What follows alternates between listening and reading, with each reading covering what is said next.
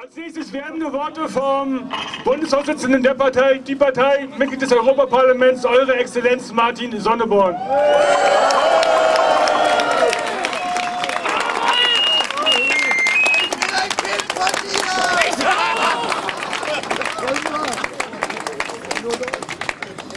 Guten Tag hier in Dings. Ich freue mich, dass ihr alle gekommen seid.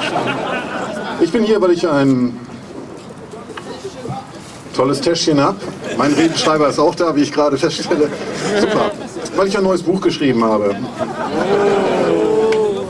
Das heißt 20 Jahre Krawall für Deutschland ist im Rowold Verlag erschienen und wird gerade hier auf einer Leseveranstaltung im Täubchental beworben. Da wurde ich rausgezerrt aus einer relativ seriösen Umgebung von ein paar Leuten in grauen Anzügen, für deren Existenz ich wohl irgendwie mitverantwortlich bin. Die haben mir gesagt, dass es hier eine Menge verwirrtes Volk gibt, hier in Dings im Zentrum von äh, Sachsen. Sachsen. Man hört es an ihrer Sprache. Was rufen Sie? Mir? Bier trinkt das Volk! Bier trinkt das Volk! Und Schnaps. Bier trinkt das Volk! Und Schnaps. Bier trinkt das Volk! Und Schnaps. Bier trinkt das Volk! Gut, ich freue mich, dass Sie alle politisches Interesse zeigen. Ich weiß, dass es hier langsam zu kalt wird, um sich im Vorgarten neben seinen zwei Mittelklasse-Kleinwagen beim Grillen und beim Tomatenpflanzen die Zeit zu vertreiben und dass deshalb jetzt wieder Demonstrationen stattfinden hier in dieser Stadt. Übrigens relativ unter Ausschluss der Öffentlichkeit. Ich wusste gar nicht, dass es hier noch sowas gibt. Aber ich bin natürlich hoch beeindruckt. Ich weiß jetzt nicht, was lustiger ist, das Original oder die ähm, echte Legida-Demonstration. Deswegen wollte ich mir beide angucken und hinterher Haltungsnoten vergeben. Ich bin aber auch hier, ich bin äh, Spitzenpolitiker, das wissen einige von Ihnen. Ich bin aus dem Europaparlament und ich suche immer gern den Kontakt zum einfachen Volk, zum kleinen Mann und auch zum kleinen Biertrinker. Und wenn Sie Fragen haben, ich habe Rederecht im Parlament in Straßburg. Ich kann dort eine sogenannte One-Minute-Speech halten und alle Ihre Probleme mitnehmen und den Politikern dort, meinen geschätzten Kollegen, mal sagen, was Sie hier so denken, wenn Sie denken. Freital bombardieren! Weiter bombardieren? Freital! Freital. Ist jemand aus Freital da? Nein, also ich muss dazu sagen, dass wir einen, wir möchten im nächsten ähm, Frühjahr einen Bundesparteitag der Partei Die Partei durchführen, deren Bundesvorsitzender ich bin. Und wir haben überlegt, das in Heidenau oder Freital zu machen. Deswegen. Ich hätte ein Dutzend anderer sächsischer Orte nennen können. Angefangen von Elend bis Oberhässlich. Sie sind oberhässlich! Ich weiß. Aber ihr seid auch elend. Das ist in Ähm, Sachsen-Anhalt!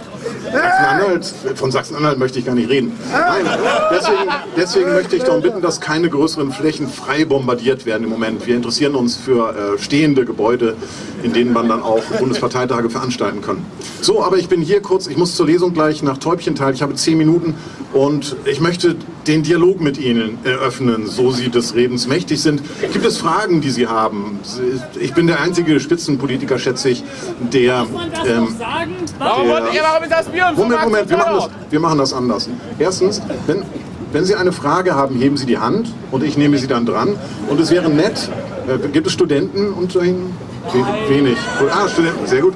Wenn ein Student eine Frage stellt, dann möchte er sie bitte mit den Worten Herr Magister beginnen. Ich habe ein abgeschlossenes Hochschulstudium, das mir noch nie irgendwas gebracht hat und bei solchen Gelegenheiten nutze ich das gerne.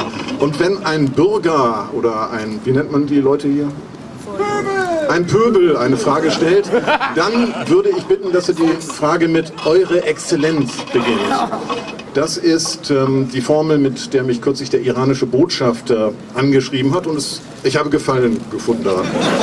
Ähm, wenn es technische Schwierigkeiten gibt, wenn ich was nicht verstehe oder wenn Sie mich nicht verstehen, auch für mich ist das ungewohnt. Normalerweise ähm, wird alles, was ich in ein Mikrofon sage, in die 24 Amtssprachen der EU übersetzt. Das ist hier eine etwas ungewohnte äh, Situation. Auch dass Typen wie Sie äh, so nah an mich heran dürfen.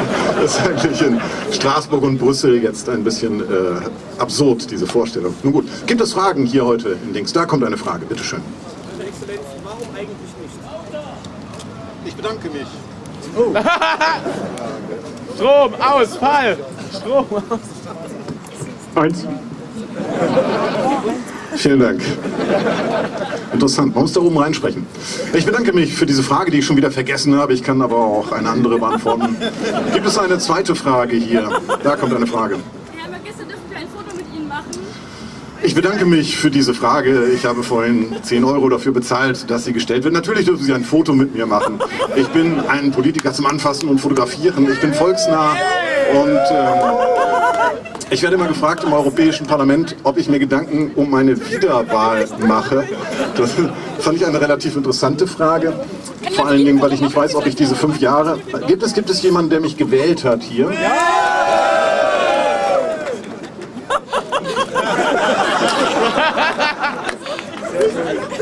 Vielen Dank, Sie haben mir diesen Scheiß eingebrockt. Ich, ähm, ich sitze im Europaparlament ähm, in relativ unseriöser Umgebung, muss ich dazu sagen. Es ist unseriöser als hier. Ich sitze unter den Fraktionslosen dort, unter dem Abschaum des Parlamentes. Und als ich da reinkam, war ich etwas geschockt. Auf der rechten Seite saß ein unrasierter Immobilienmakler und Rechtsanwalt von der AfD, eine in weiten Teilen des Landes bekannte Partei. Markus Pretzel, der Mann, der den äh, Sturz von Lucke herbeigeführt hat, mit. Und links von mir saß die FPÖ, eine rechtsradikale Gesellschaft aus Österreich, so Steiermärker Burschenschaftler. Und links vor mir saß Marine Le Pen, ebenfalls unrasiert. Ich sitze relativ nah dran.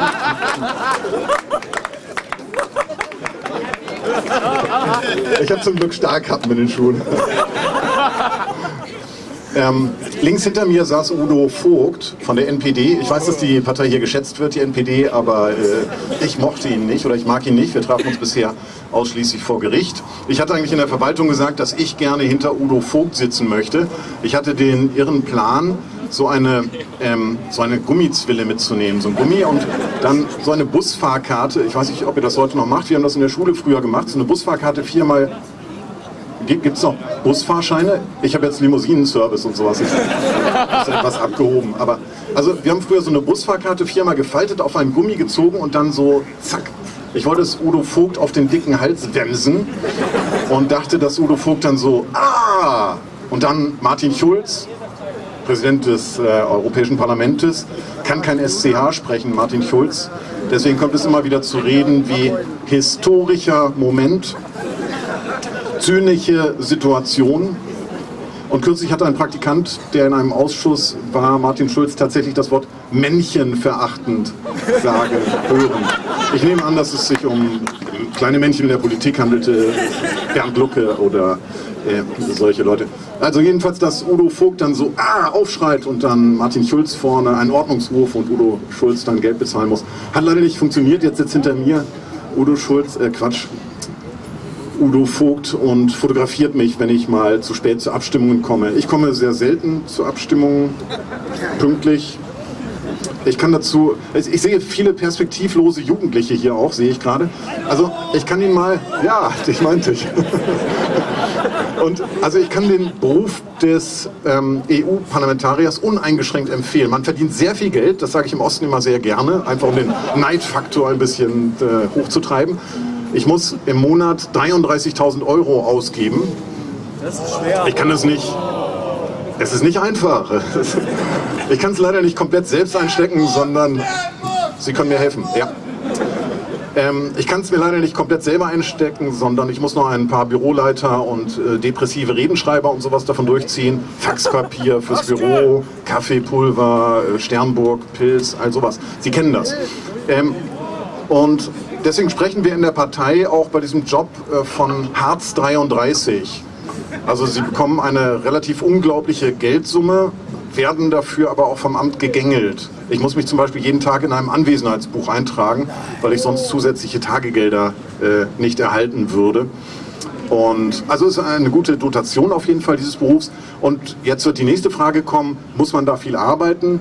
Es geht so. Also die Woche, in der ich das exakt beziffern kann, was ich gearbeitet habe, das war eine Woche, da weiß ich es ganz genau, da waren es 120 Sekunden in der Woche. Das war bei der Befragung von zwei designierten EU-Kommissaren, Navracic und Oettinger. Da habe ich jeweils 60 Sekunden denen eine Frage stellen dürfen. Ich hätte sogar gerne noch länger gearbeitet in dieser Woche, aber man hat mir das Mikrofon abgedreht nach den 60 Sekunden. Und Sie können das im Internet übrigens auch gerne nachsehen, was da passiert ist. Also es ist ein super Job, ich kann das nur empfehlen. Und abschließend, es gibt bestimmt noch andere Leute, die hier reden möchten und ich muss auch in das verfickte Täubchental.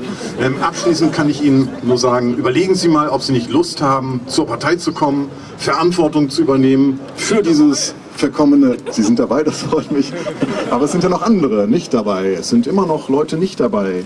Das macht mir Sorge in diesem verkommenen Landstrich. Überlegen Sie, ob Sie Lust haben, Verantwortung zu übernehmen. Überlegen Sie, ob Sie Lust haben einzutreten. Es gibt noch niedrige Mitgliedsnummern in der Partei, derzeit um 20.000. Eine niedrige Mitgliedsnummer kann Ihnen später berufliche Vorteile verschaffen. Das Ganze kann zwölf Jahre später auch nach hinten losgehen. Wir wissen das nicht, das kann ich Ihnen heute noch nicht sagen. Aber ich würde mich freuen, wenn Sie mal drüber nachdenken. Tschüss, gute Nacht und auf Wiedersehen hier in Dings.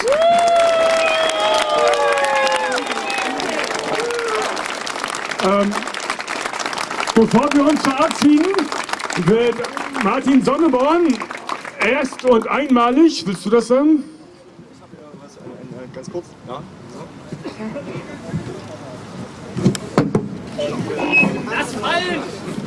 Sehr geehrter Herr Exzellenz, Feierlich möchte ich Ihnen den Sonneborn-Orden überreichen. Er ist angelegt an den Karl-Marx-Orden, ja, der höchst dotierte Ehrenorden in der damaligen DDR. Äh, dieser ist zu Ehren der 50. Wiederkehr der Geburt Eurer Exzellenz gestiftet und soll ihr Leben und Wirken des größten Sohnes und bedeutendsten Wissenschaftlers des deutschen Volkes auf ewige Zeiten verewigen. Ja? Äh, dieser ist aus der äh, VEB Orden äh, Manufaktur Leipzig ja?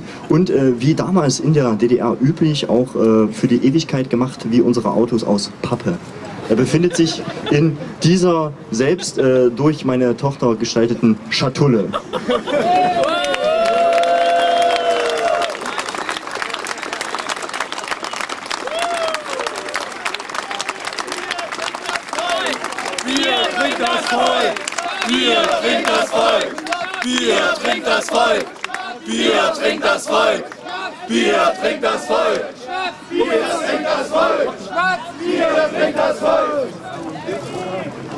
nicht mehr ablegen.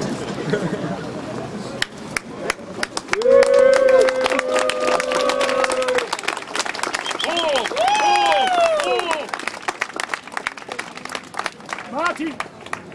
Martin Sonneborn, der lebe! Oh! Oh! Oh! oh.